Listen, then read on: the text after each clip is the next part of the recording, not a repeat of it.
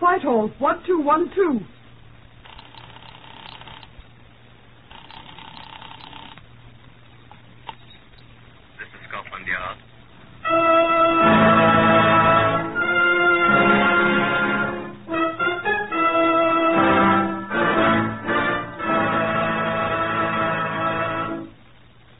The first time in its history, Scotland Yard opens its official files to bring you the true stories of some of its most baffling cases. These are the true stories. The plain, unvarnished facts, just as they occurred, reenacted for you by an all-British cast. Only the names of the participants have, for obvious reasons, been changed. The broadcasts are presented with the full cooperation of Scotland Yard. Research for Whitehall 1212 is from Percy Hoskins, Chief Crime Reporter of the London Daily Express. The stories for radio are written and directed by Wyllis Cooper. Here is Chief Superintendent John Davidson of Scotland Yard, custodian of the famous Black Museum. The exhibit I have to show you today from our Black Museum files is neither more nor less unusual than anything I've shown you. But, like many other of these intrinsically unusual objects, it has acquired a certain interest because of its association. Now, you've seen thousands of these. It's a string of varicolored plastic beads made by cutting plastic tubes of various colors into short lengths and stringing them together to form a woman's necklace. The string has been broken, but it's been retied, you see. The man who tied it together is here beside me. He was in charge of the case number 696966. This is Detective Inspector Herbert Case of the CID. Herbert? This case is one of the few in which the press was able to be of considerable assistance to us. Not, I assure you, by usurping the functions of the police, as so many fictional newspaper men do so fictionally successfully, but by passing on to us with remarkable celerity everything they discovered, and leaving the dirty work to us whose job that is. I applaud such pressmen, as does every good policeman. On the 9th of August last year, the Criminal Investigation Department of Nottingham received a trunk telephone call from London. The call was routed to me. The caller identified himself. John Marchbank speaking. Inspector Case here, Mr. Marchbanks. Oh, yes, yes. Uh, look here, old fellow. I've had a telephone call from Nottingham that I suspect wants investigating. Yes, sir? A man's just called to tell me that he is willing to sell me, for a considerable sum of money, the exclusive first-hand story of a murder. Uh, may I ask who you are, sir? Oh, oh, sorry. Yes, I'm editor of the News of the World in London. Uh, we've the largest circulation, you know. I've seen your papers. Uh, yes. Well, this chap told me that he had the story. Says you chaps don't know anything at all about it yet. So I thought I'd better notify you. Oh, that's very good of you, sir. Did the man give his name? Uh, yes. I told him I, I'd have to consult my superiors, and I ring him back at 12.25. He's at a telephone kiosk there, and the number's 633191. And his name? Brown. George Brown, is it? Although I suspect that rather too easy, isn't it? Probably his nom de plume. Uh, you're going to talk to him at that number, sir? At 12.25, I told him. Yes. Thank you, sir. We'll be there with him. Goodbye. Good luck. And don't forget the news of the world, Inspector.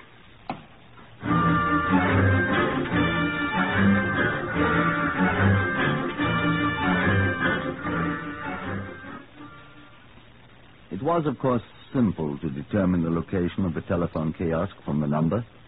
I proceeded there at once with Detective Sergeant Victor Mann to find a young man with excessively long hair talking rapidly into the phone. We moved closer to listen as best we might through the closed door.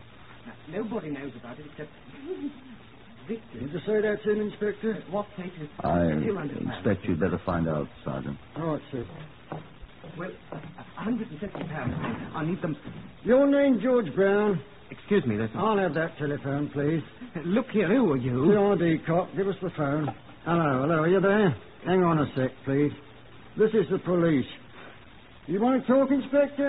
I, I say, Are you George Brown? I am. I, I- I was. It's him, Inspector. Thank you. Just wait, you, Brown. Hello, is that Mr. Marchbank? It is? Good. Was that your man? Right, we're here. We'll have a talk with him. Eh? Oh, yes, yes, yes, yes. Of course, I'll remember. Thanks very much, sir. Now, Mr. Brown. Who are you, the police? We are. What's the our cards? I was going to call you at once, officer, just as soon as I got finished with my London call. I suppose you tell us now. We're right here. May I sit down, please? On the bench there.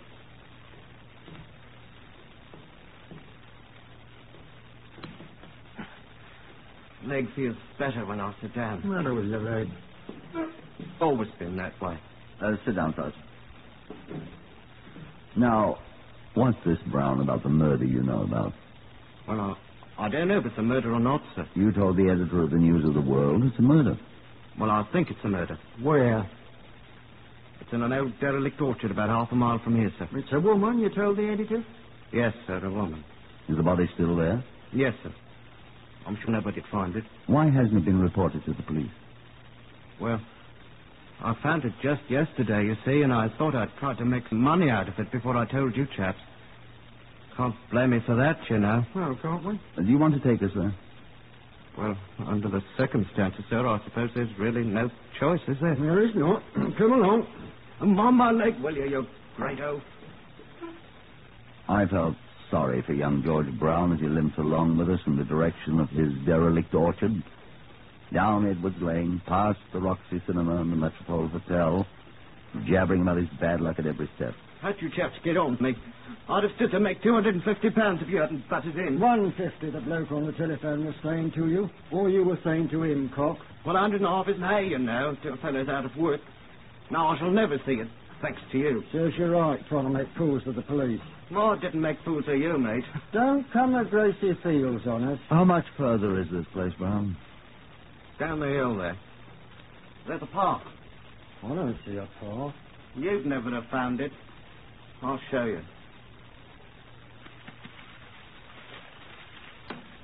Here, see? It's all grown over, but there's your path. Where's this body? See down there at the bottom? Yeah, that, that pile of rags? It's a coat. Been thrown over. Who threw it over? How do I know? The murderer, very likely. How'd you find her? Saw beads lying on the path here. Oh, I'd better give them to you, hadn't I? You had. Oh, I'm sorry, I, I forgot them. Here. Hmm. Better tie them together, hadn't I? How do you know they're hers? I don't know. Seems probable, though, don't it? Proceed. Well, come. Oh, I'm not going down there again. I've seen her. Now, come on, pal. No, I won't do it. It was tough enough climbing up and down yesterday with my leg.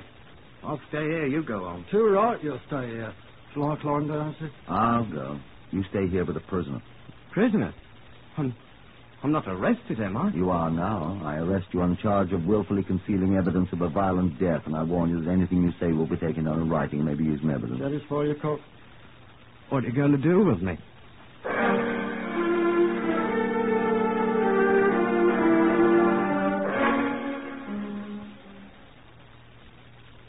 Body was that of a woman about 30, I judged, lying on her side, fully dressed, the coat carefully placed over her. There was no immediate means of identification, and the only obvious wounds were the bruises about the head, which had caused the face to become quite black. The body was removed to the mortuary at Leanside for examination by Dr. Crofton, the police surgeon, and by Dr. John Little of the Home Office Forensic Science Laboratory. Mann and I took Brown to a justice of the peace on the charge we had made of concealing evidence. He was allowed to go after he'd been bailed under the Criminal Justice Act of 1925, which permits the police to go bail themselves in such cases. In the meantime, a card found in a pocket of the coat, which had covered the body, had provided the first identification. The card bore the name of Mrs. Anne Battersby of 97 Longmead Drive, Nottingham, who had been reported missing on Friday the 3rd of August, six days earlier. Lodgers at the Longmead Drive address identified the broken string of beads, the coat itself, and certain other articles as the missing Mrs. Battersby's. I talked with Sergeant Mann. Yes, sir. That's who it was, all right. This Battersby woman. Body's been identified. Who identified her? Uh, her husband and these other people, sir. What about her husband? Oh, I- I've talked to him, sir. You all right? Well, I brought him along with me, sir. He here now? Mm, yes, sir. Let's have a look at him. All right, sir. Mr. Battersby. Yes?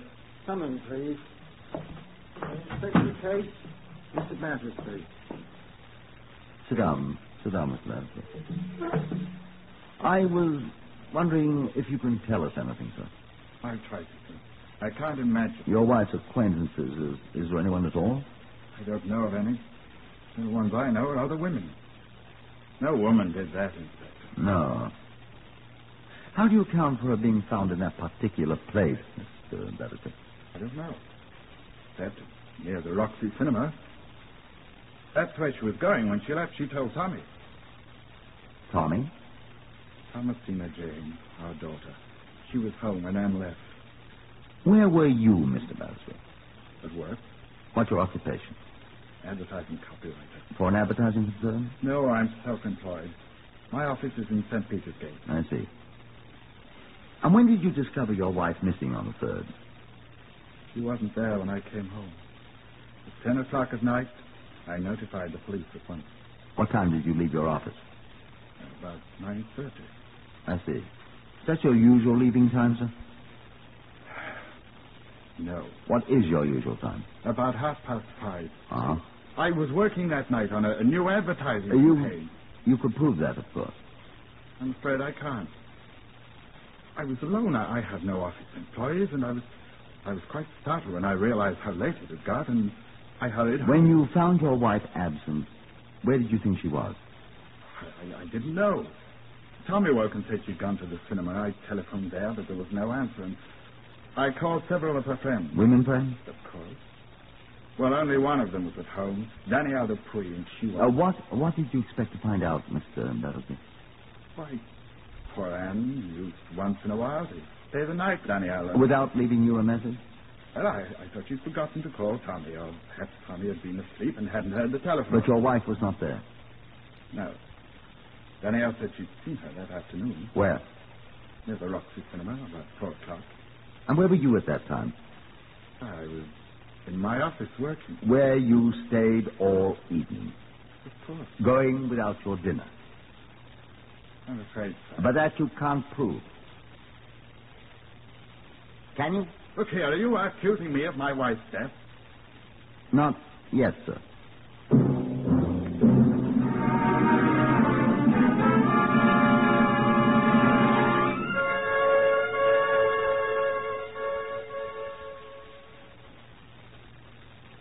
Let me tell you what Dr. Little, the Home Office pathologist, said to me.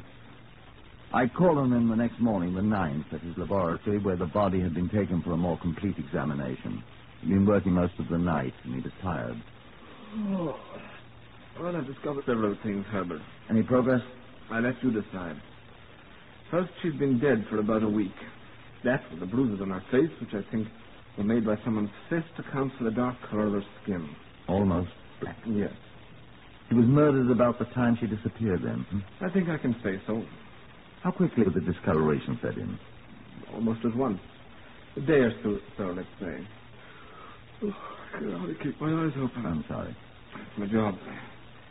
Second, she died of strangulation, suffocation. I think, remembering the bruises, it was man- manual strangulation. Yeah. By the condition of the stomach contents, she died about four hours after her last meal. Huh. If we can discover when she ate last, then we'll know almost the exact time of her death. The day and the time. I'll try to find that out. All right. Now, we used my little laboratory vacuum cleaner on her clothes. What did you find? Nothing much. Except these hairs. Longish. Black? Yes. Recognize them? And on her husband, he's almost bald-headed. What hair he has is sandy. Traces of grease on this. Can be identified, you suppose? I doubt it. But we can compare it with samples of Brylcreem and other messes people put on their hair and identify it that far. Will you do that? Of course. Probably the murderers. I'm sure. On here. This is what we found under her fingernails. Oh, More hair? shreds of fiber. From her coat or dress? From somebody else's coat or dress. You think another woman, Doctor? Can't tell. Bring me the garment she clawed these bits from, and I'll prove that's what they're from. Oh. Comparison microscope, my boy. Oh. I'd like to see those bees you were talking about, too. Sorry. What for? I want to see if they fit into these marks in her neck. Marks? I think the boil strangled her with her own beads. So do you mind clearing out and letting me get a few winks of sleep like a good man? You going to sleep here? Oh, the lady won't snore.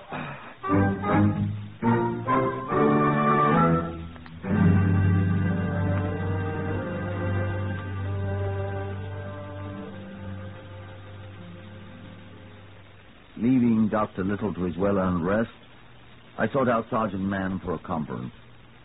He listened attentively to my instructions. All right, sir. I've got it all, I think. The beads. To take 'em to Dr. Little. Right. That is it. Ask him for samples of his hair. What else? Uh, look over his wardrobe and get samples of fibres from everything and bring them to the Forensic laboratory. Oh, yes, and, and find out from him how to reach the Stanil du Puy. I I admire your pronunciation, Sergeant. Well, the, the, the girlfriend of Mrs. Battersby. And ask her to come and see me. Ask her? Fetch her. Hope she's pretty. She's French. Uh, honest war, he married fools. What? French, I'll speak it like a native. Well, try it on Mademoiselle Dupuy. Try what, sir? Get out of here. Send in that man that's waiting. Man, sir? The newspaper fellow. Oh, the little fat man from London. Send him in. Yes, sir. You can come in, sir. Oh, thank you. Excuse me. I'm addressing Inspector Case, am I not? You are, sir? I take it you're Mr. Marshbank. Uh, Off the news of the world, London. I was speaking to you yesterday, sir. Very glad to see you, sir. Oh, thank you. May I sit down? By all means. Well, you uncovered a real one, Mr. Marshbanks. What brings you to Nottingham? I came down to see this murder story merchant, Brown. He telephoned me again last night. Oh, did he? Hmm. Told me that you've arrested him. Well, teach him to conceal evidence. He's on bail now, but he'll get sent down for a few months when his trial comes up. What did he tell you? Tell me? When he telephoned you? Oh, uh, well, I promised to give him seventy pounds for his story, uh, provided you had no objections. It's our type of thing, after all, you know. Come down his price, isn't he? Oh, no, that, that was my doing. We're not in business for our health, you know. it's all right with you, provided, of course, that I show you the story first. I see no harm in it, well. Oh, good, good. Uh, thank you. Ordinarily, I'd let our staff man here in Nottingham handle it, but I wanted to get away from my desk, and uh, I confess this intrigues me. Yeah. I say, I was thinking of something. Can't put down an old newspaper man, can you're comfortable. Inspector. Huh? Oh, I am sorry. Of course. That's many bloody things about constables in the paper, you know. I, I am sorry. Do forgive me. What are you thinking of? Oh, I was just thinking, what if this young chap turns out to be the murderer himself? Wouldn't that be jolly? Would be quite interesting, Mr. Marshbanks. I know what I should do. What? I should give him an extra fifty pounds. But only if his story is exclusive, sir. Only if it's exclusive, mind you. You're very generous, sir. It'll be worth it. Oh, it'll be worth it. Well, sir, if I allow you to leave me upon your lawful occasions now, I trust you will leave me to mine. Huh? I shall see you again before the day is over, sir. Oh, with my exclusive story, I promise you, sir. Good morning.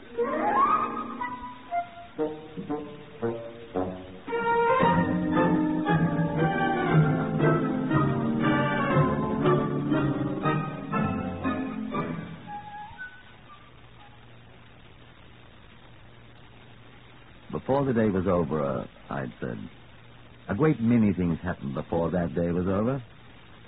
First, at about three in the afternoon, Dr. Little telephoned me from his forensic laboratory.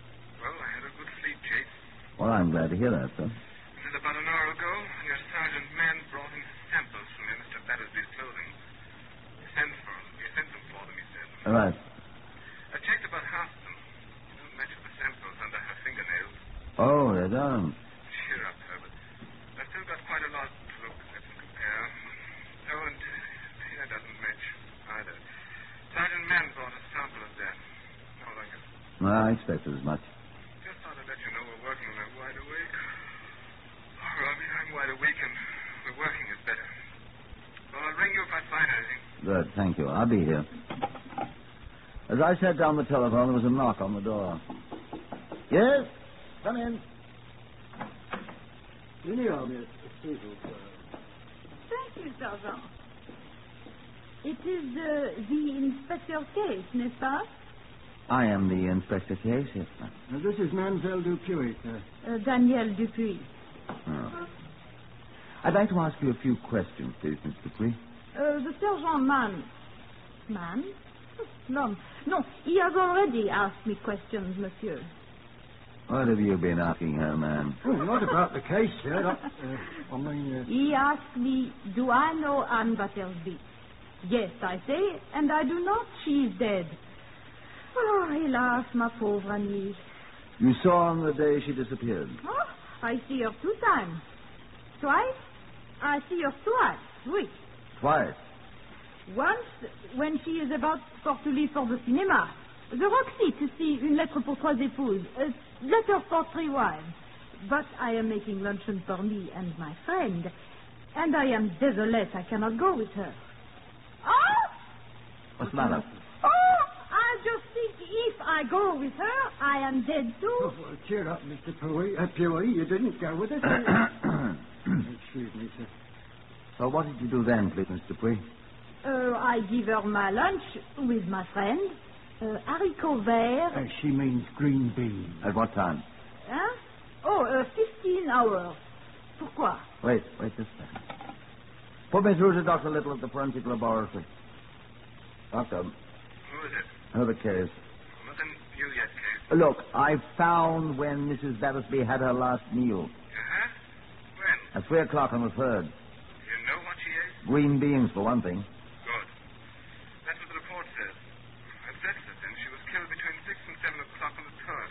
That all? For now, thank you. Bye. And when was the other time you saw Mrs. Battersby that day, Miss Dupuy? It was about uh, just before five minutes to six. Uh, where, Mr. Dupuy? Uh, hold it, hold it, Sergeant. Are you sure of the time, Mr. Dupuy? I am always sure, Monsieur the Inspector, and it was on Edward's Lane, only just past the Roxy Cinema. And of that I am also certain. Did you talk to her? I did not. How am I to know who is this man she is talking with? Man. She is walking down the street, Edward's Lane, toward the old orchard, with a man, and he is talking to her. Would you recognize this man again, Mr. Dupuy? Oh, I am not sure I would know his face for sure. Did he have a lame leg? How do you know that? Did he?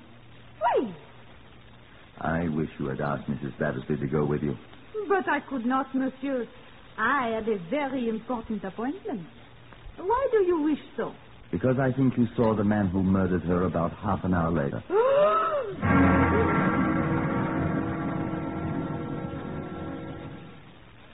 And that wasn't all that happened before the day was over. I turned Miss Dupuy over to the matron who applied cold cloth to her head. Fifty minutes later, Marshbanks of the News of the World returned and came cheerfully into my office. It's wonderful. What's wonderful? The story. Brown story? Is it written already? I've got the first paragraph here, and as soon as we've looked it over, we're going over to the Black Boy Hotel. I have a room there, and he's going to finish it on my portable typewriter. Ha! Never travel without the portable, made in Switzerland, you know. Used by correspondents everywhere. May I see the story? Of course. Wonderful idea. He calls it I Saw Something White. Isn't that a ripping title? What's it mean? Well, let me read it. As I slowly walked up the rustic path in the derelict orchard, I saw something white on the path before me. What could this be? Paced through, uh, raced through my mind. I hurried forward and bent over the white object, and my heart almost stopped. It was the white face of a dead woman. That's enough. Uh, uh, don't you want to have the rest of it? No, I want to hear the rest of it from Brown. Oh, how fortunate. I asked him to wait for me in the anteroom. Isn't it? Now, just a second. Sergeant Mann, get Mr. Dupuy and ask her to come to the anteroom at once. Fetch her if she has any objections. Miss Dupuy. I think Mr. Brown has met her. Oh, French, eh? Come on, let's find Brown. Oh, um, do you happen to have an extra 50 pounds on you, Mr. Mustang? 50 pounds? I think you're going to owe it to Mr. Brown. Eh? Your proposition, you remember. Come on.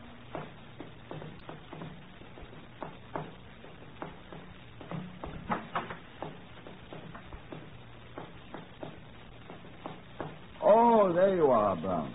Well, how, how do you Inspector? Have you been reading my story? The first paragraph, I mean. I found it very interesting. I like it very much indeed. Well, thank you. You said you saw her white face. Well, I thought that was rather a good touch. It was if you'd seen her face within an hour or two after you'd killed her. What are you saying? The combination of the blows she had received in the face and the strangling with her beads and the hot weather. Her face has been that ghastly black color since a few hours after she died. Mr. George Brown. Black. Black, that's what I meant. I, I did- Much black. I, Oh, here you are, Mr. Queen. Have you ever seen this man before? Oh! It is he! It is the man with the limp. Yes, I have seen him. He is the man who did kill her. Oh, assassin! Oh! And this time the warning was a different from the first time. George Brown, I arrest you for the willful murder of Anne Battersby. I warn you that anything you say will be taken down in writing and may be used in evidence.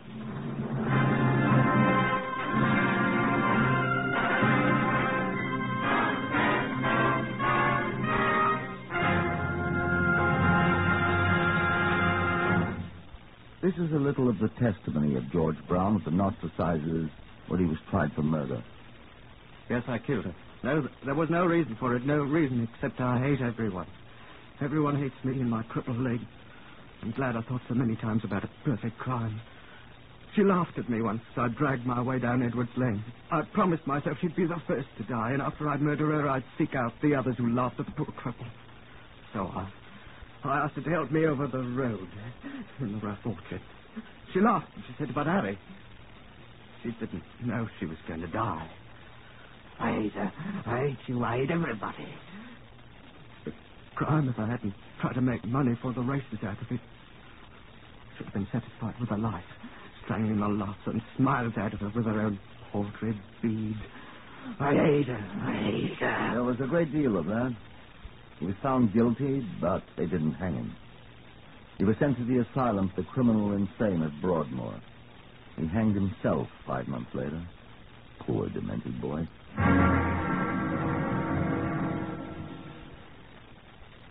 Heard on Whitehall 1212 today, Horace Braham as Inspector Case. Others in the order of their appearance were Harvey Hayes, Maurice Delamore, Carl Harbord, Lester Fletcher, Glenn Farmer, Gerard Burke, and Patricia Courtley. Lionel Ricau speaking. Whitehall 1212 is written and directed by Wyllis Cooper.